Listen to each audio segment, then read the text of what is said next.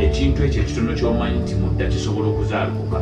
Akakadde ako akamu kakumala oluusi n'otagenda kutekinga choice eri wala oluusi w'okutegeerako mwemuvudde bannaffe lwaki ŋŋamba nti kiri wala w'okutegeera kwaffe?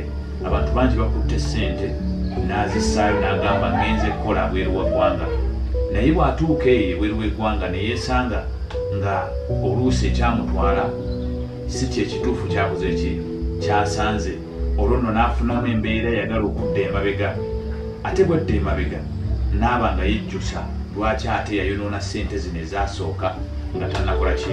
Nga tannagenda? Oba oliawo yandibadde azikwata ate n'azikozamu kino nakiri nolwekyo ojja kukujjukiza nti mu kusooka beera nga weegendereza nti mu mbeera y'okuba nti ofunye essanyu oba ofunye embeera y'okwagala okukyusa obulamu bwo mu choices zoteekinga weegendereze okyayinza oluusi okulowooza nti ebweru gy'oyayanira okugenda ye walungi ennyo okusinga ewaka wooleka nga tolina bugumiikiriza. Naye ng'ate oluusi bwe wandisigadde waka nooba nga tokutte ssente zeezo entono kwagala kumpi zisuubula mu kubanza ebayita basuubuzi omusajja atwala abantu ebweru akeera ku makya ng'alina limited company atwala abantu abo ng'alina ne license emuweebwa gavumenti okubeera nti akola asoosinga abantu abo okubaweereza ebweru w'eggwanga okukola.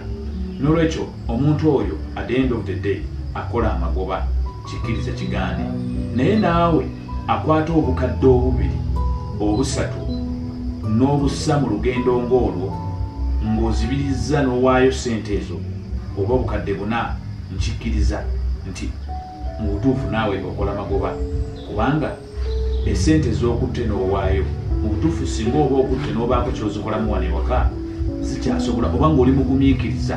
Obugumiikiriza bwe bumu bwewandisaanye okugumiikiriza ng'osisinkanye ebizibu gy'olaga era bwe bumu bwe wandisaanye okusigala wano ewaka n'okozesa akasente ako akatono era n'ogumiikiriza paka nga kazadde ne kazaalukuka olwo nno n'otuuka ku kiri ekinene ky'oloota. Ebintu bino bifaanagana.